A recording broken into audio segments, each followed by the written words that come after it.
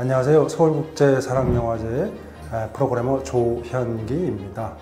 아, 여러분, 여러분들께 제20회 서울국제사랑영화제의 개막작과 폐막작을 소개하려고 합니다. 올해 20회 사랑영화제의 개막작은 Jesus Revolution으로 선정이 되었습니다. 이 영화는 올해 아, 초 미국 그 부활절을 맞이해서 4월 전쯤에 2월 28일에 개봉했던 영화였었는데요.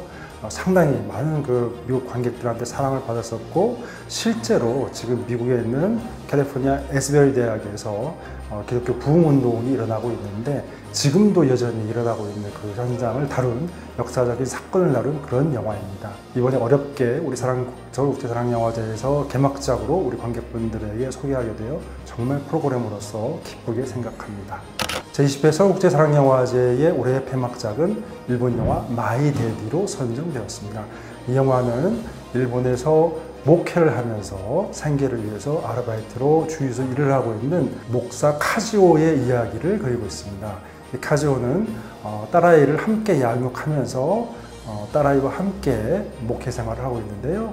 그러나 생계를 위해서 또 아르바이트 주, 주유소에서 아르바이트를 하고 있기도 합니다. 사실 일본에서 어, 목사를 소재로 하고 기독교의 사랑을 어, 주제로 한 영화를 만나보기는 흔치 않은데요. 최근에 나온 작품 중에서 상당히 흥미로운 작품이고 우리 기독교 관객들에게 소개할 만한 그런 작품이어서 올해 폐막작으로 선정하게 되었습니다.